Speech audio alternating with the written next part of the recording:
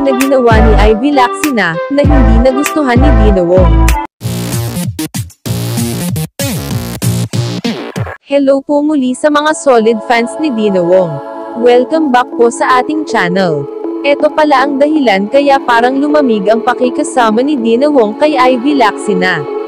Nito lamang ay naglabas ng saloobin si Ivy Laxina kasama si Trisha tungkol sa mga bashers. Ngunit imbis na matuwa at maawa ang mga bashers, ay tila nainas pa ito kay Ivy Laxina at Trisha dahil ito sa pinakita nilang hindi maganda sa mga bashers. Hindi naman ito nakaligtas kay Boss D, at nalaman din niya ang nangyari. Hindi pa nga ganon kasikat si Ivy Laxina, pero medyo may pagkamayabang ang kanyang dating, na hindi naman nagustuhan ng mga fans ni Dino Wong.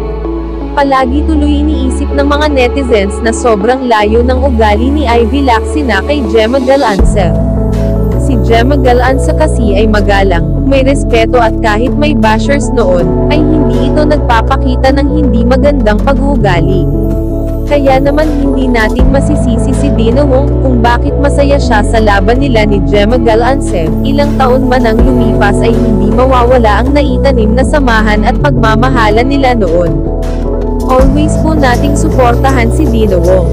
Stay connected lamang po tayo for more updates. Maraming salamat po.